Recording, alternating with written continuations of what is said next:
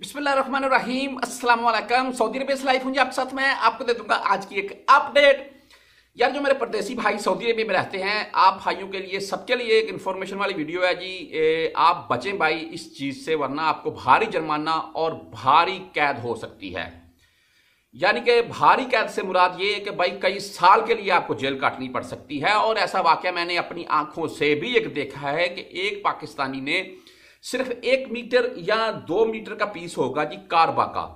وہ اس نے کہیں سے اٹھایا تھا، پھر بیچتا ہوا وہ پکڑا گیا تھا، اسے بھائی دو سے ڈھائی سال ہو گئے تھے۔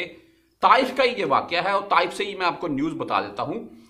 وہ بندہ جیل میں تھا۔ تو کسی کے تھرو کوئی جاننے والا اس کو ملا، وہ ملنے گیا، مجھ کو اس نے سارا قصہ سنایا اس کا۔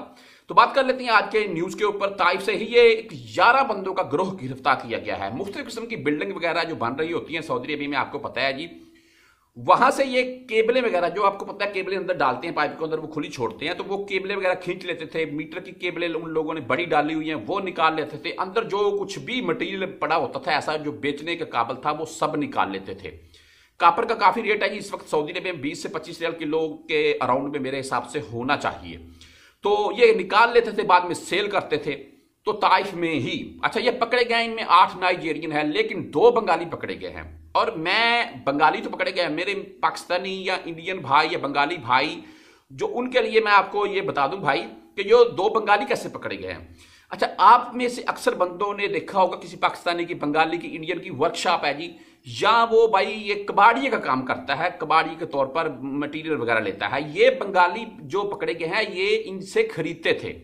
اور یہ کاپر کا جو، کاربا کا جو سامان ہے جی سعودی عربیہ میں بیچنا ممنوع ہے اور لینا بھی ممنوع ہے۔ یہ دونوں اس جرم میں آتے ہیں۔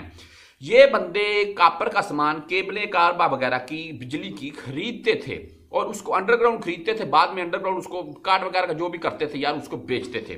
یہ بھی پکڑے گئے ہیں انہی کے ساتھ اور ابھی تک یہ خالی طائف سے ہی تین لاکھ ریال تک کی کیبلیں چوری کر چکے سے میں دیکھ رہا تھا کہ تین لاکھ ریال تک کی بھائی انہوں نے ابھی تک کیبلیں چوری کی ہیں، صرف کاربا وغیرہ کی۔ تو میرے پاکستانی انڈین بنگالی بھائی، اگر وہ آپ کباڑی کا کام کرتے ہیں یا اگر آپ باہر کو کام وغیرہ کرتے ہیں اگر کوئی کاربا کی کیبل بھائی ایسے بھی پڑی ہو نا تو اسے مت اٹھائیں، نہ ہی اسے بیچیں، نہ اسے اٹھائیں، کیونکہ یہ اس کے اوپر بھائی کیس بہت برا بنتا ہے۔ پھر میں نے اپنی آنکھوں سے دیکھا، آپ کو واقعہ بھی سنایا ہے، اس لڑکے کو دو سے ڈھائی سال ہو گئے تھے۔ جیل میں بیٹھا ہوا تھا، صرف ایک سے دو میٹر کا پیس کہیں سے لے کر یا کہیں سے اٹھا کر وہ بیچتے ہوئے پکڑا گیا تھا۔